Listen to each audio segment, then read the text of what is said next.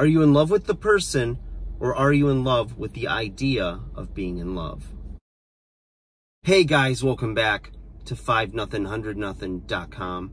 I am Fugget, and that stands for the fittest underdog guru using intelligent tactics. Guys, I want to talk to you about a little topic that I rarely see discussed, but if you've ever dated somebody and you find that they're like really, you know, into the relationship game, you know, um, there's a lot of steps they take which leads you to think that maybe they're in love with the idea of being in love and not with you as a person. So I'll give you a rundown of that, some warning signs you can see, and maybe some signs in yourself if you indeed um, have these behaviors, okay? So think about it like this you have uh, somebody new, and either you or that partner, right, immediately wants to spend all their time with them. You know, they want to take a lot of pictures, post those pictures on social media. Um, they want to do the relationship things, but it seems like there's not really an organic time of getting to know each other, you know? Like one or both of you don't have your guard up. And I'm not saying that in a bad way where you have a guard up and then you don't let somebody in, but they're just spilling everything, you know, about themselves and about their needs and how great it is to have finally found somebody. And either you make that person feel like a warm body that's just there to compliment them or you yourself are doing that to the person. And it's very common, um, especially if you uh, are out there dating and or you have like you've had a lot of, of um, relationships that start and then seem to go sideways and south really fast. You know, it starts off like, you know, it's incredible, everything is great, um, they're so happy to have you, you're so happy to have them. This is the perfect person, you've never met anybody like this but there's a pattern to this, okay?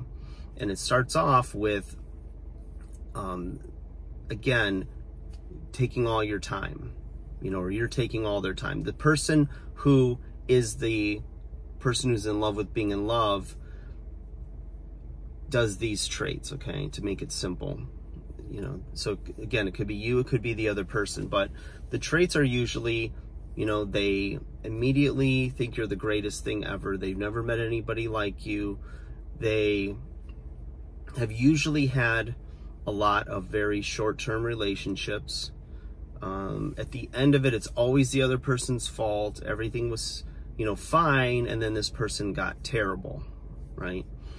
and I always meet the wrong people. That's what, you know, some of their dialogue is, you know, I always meet the wrong people or nobody really understands me or how much love I have to give and they just took advantage of me. Every single person did the, the same things, right?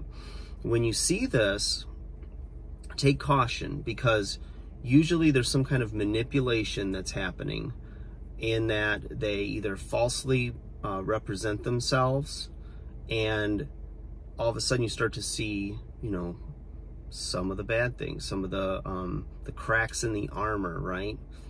If they're your knight or knightress, I don't know, is there a female knight in shining armor? All of a sudden you start to see the kinks, you start to see the rust, you know, the things that just aren't, don't seem normal or balanced in a healthy relationship. So, like I said, you know, they might post on social media all the time, you know, post you, tag you, you know, try to like overly involve you in their life. Usually it's, um, here's all my family, here's all my friends, you know, here's my schedule. And now they try to fit you into their life, meaning you're going to be everything they need instead of learning who you are and the things you need, right? So that you can bring um, the, your two lives together. And it doesn't happen super fast and shouldn't happen super fast. It should be um, a time thing. You know the more time you spend with them the more you're going to get to know each other. You're not trying to push things unnaturally in a direction of permanency right? Whether that's um, boyfriend girlfriend engaged married what have you and um, you know you should both be on the same page with that one person shouldn't feel rushed and feel um, almost like an obligation to just go at the speed that the other person wants to.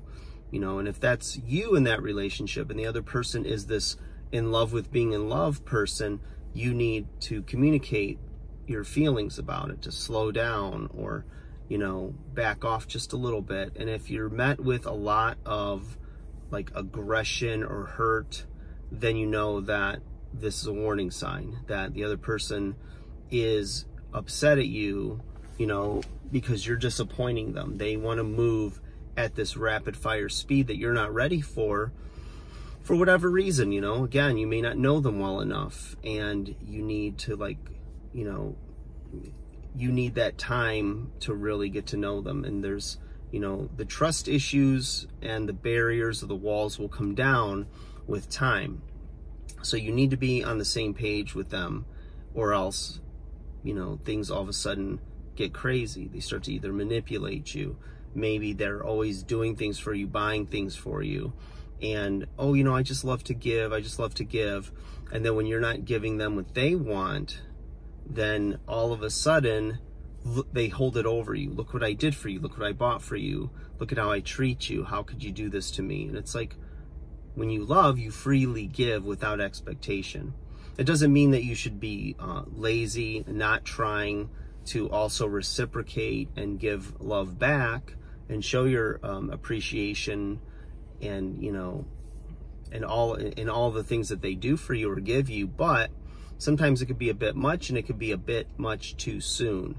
So that's the thing is i've seen that happen where you know somebody's like a serial dater. They're always in love. They you know they fall in love way too fast. And the thing is those early dating stages i always talk about this is a lot of times men will make the mistake of trying to make them show them why they're of such value. Here's why you should love me. Here's what i drive. Here's what you know i can do for you. Here's the gifts i can buy for you. You know all these things.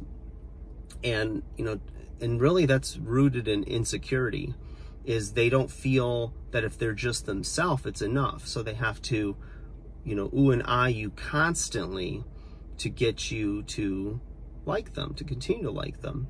So it's a slippery slope when when you're dating everybody's a little bit different. You know everybody has a different love language and you need to just take your time with it really get to know them trying not or trying to assess if you're losing yourself in this relationship if you're becoming a completely different person um, you know if you're finding that the things you enjoy doing and the essence of who you are who you've built you know your a lifetime becoming is now being you know changed and compromised in an effort to keep somebody else around. And that's never a good thing. It's not going to end well because eventually those feelings of that honeymoon period, you know, that period of like everything is amazing and blissful and all of that, it's going to wear off eventually because we're all humans. We all have, we all, we all make mistakes.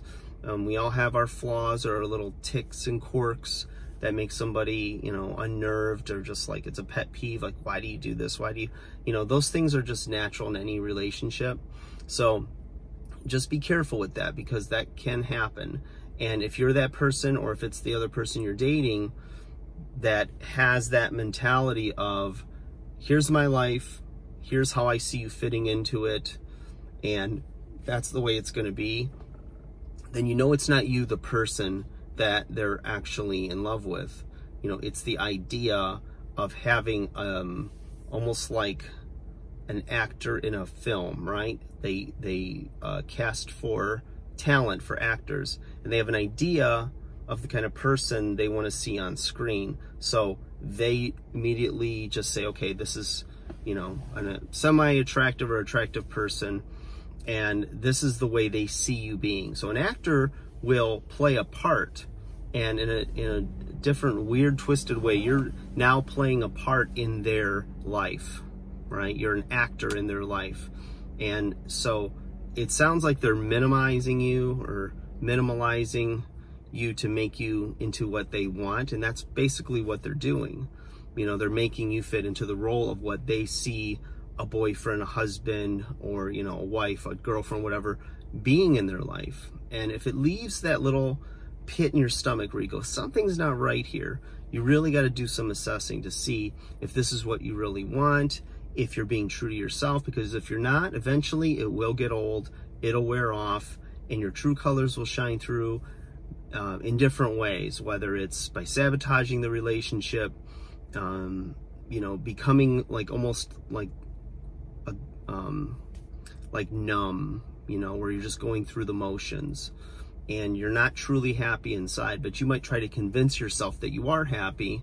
Well, it is somebody, it, you know, they seem to really care about me. I don't want to hurt them, but long term, it's going to do more damage. And the end of the day, the person that's looking for love to be in love, they're in love with the idea of being in love, you know, they've got to fix some things in themselves, you know, address some of their demons or some of the things in their past, or maybe abandonment issues or lonely, um, feeling lonely, issues of feeling lonely, and, you know, get better for that so that they can be a whole person walking into the relationship.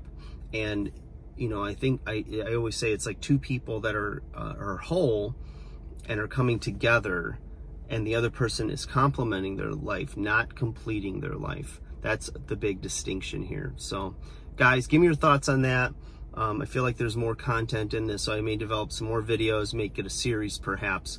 But, you know, it's always interesting. I've been in those relationships, and uh, usually they become a train wreck. You know, something really bad happens because it's not real. You know, it's not real, and it was something that they're trying overly uh, aggressively to manufacture to make it fit so that they feel that their life is complete. And usually there's some skeletons in the closet um, of that person. And the best thing you can do is, you know, communicate, let your needs be known, not give up so much of yourself. Of course, you know, relationships are a compromise where there's going to be some give and take and some um, some moments where you know, some things or issues where they're you're both going to settle a little bit, right? And make some agreements. And as long as you guys are okay with those agreements and you feel good about it, then you're moving forward. So, guys, hopefully that helps. Like, share, subscribe. I'll see you again soon.